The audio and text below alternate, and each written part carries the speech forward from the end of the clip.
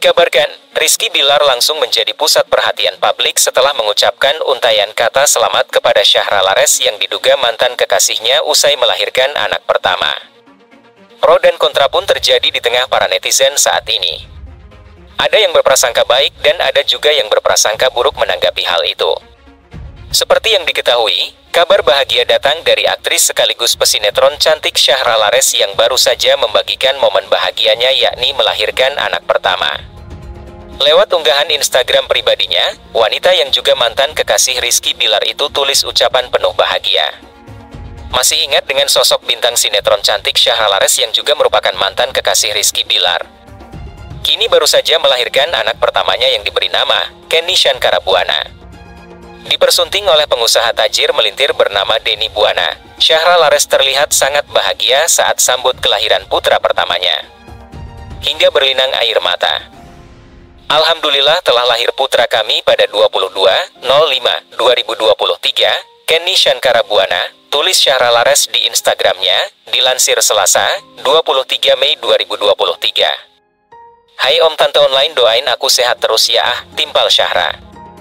Usai memilih vakum dari industri hiburan tanah air lantaran resmi dinikahi pengusaha tajir melintir sekelas dengan Raffi Ahmad. Syahra Lares dan Denny Buana menggelar resepsi pernikahan mereka dengan penuh kemewahan pada Maret 2021 lalu. Bahkan saat mengumumkan kehamilan anak pertamanya di akhir Desember 2022 lalu, penampilan Syahra Lares yang semakin cantik dan glowing sontak tuai sorotan. Bagaimana tidak, dalam unggahan akun Instagram Syahra Lares, ia terlihat bangga memamerkan baby boom dengan gaya yang fashionable di jalanan Amerika. Memiliki darah blasteran bule Australia Arab Jawa, Syahra Lares justru tak menghilangkan budaya dan aksen Jawanya mulai dari menggelar acara syukuran pengajian empat bulanan dan siraman tujuh bulanan dengan sangat anggun menggunakan sanggul adat Jawa. Aktris Syahra Lares sempat heboh tahun lalu setelah publik mengkait-kaitkan dirinya dengan Rizky Bilar. Kekasih Arbani Yasis tersebut kerap disorot sejak Rizky membahas sosok mantannya lewat kanal YouTube-nya. Sejumlah warganet pun menebak sosok mantan tersebut. Mereka menduga bahwa mantan yang dimaksud adalah Syahra Lares. Ia adalah aktris yang pernah menjalin kasih dengan Rizky pada 2018. Syahra Lares merupakan seorang aktris sekaligus model asal Jakarta. Namanya melambung sejak berperan sebagai diva dalam sinetron Mermaid in Love 2 Dunia pada 2017.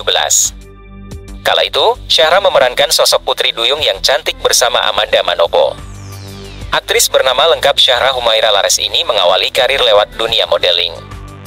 Setelah sukses menjadi model, wanita berdarah Australia-Indonesia itu mencoba terjun ke dunia akting. Pada 2016, dirinya sempat menjadi pemeran pendukung dalam sinetron Acita. Namun, sinetron tersebut belum berhasil mengangkat namanya. Pada 2017, Syahra membintangi sinetron Mermaid in Love 2 Dunia bersama Amanda Manopo, Angga Yunanda, dan Rebecca Klopper. Namanya pun langsung melejit berkat sinetron tersebut. Dirinya juga mendapatkan tawaran baru untuk membintangi sinetron Angry Boss. Selain jago berakting, Syahra juga memiliki suara yang merdu. Gadis yang akrab disapa kala tersebut meliris lagu berjudul Halu pada 2018. Lagu itu menceritakan tentang seseorang yang khawatir dan meragukan kesetiaan pasangan. Di tahun yang sama, Syahra sempat menjalin hubungan dengan Rizky Bilar yang merupakan mantan kekasih Dinda Hau. Meski memiliki perbedaan usia 8 tahun, keduanya tetap tampil mesra dan serasi. Sayang, hubungan keduanya tak bertahan lama. Kini, Syahra sedang menjalin asmara dengan Arbaniasis. Keduanya menjadi dekat sejak dipertemukan dalam sinetron Gober. Saat ini, Syahra dan Bani kerap mengunggah momen kedekatan mereka lewat postingan Instagram dan konten di kanal YouTube.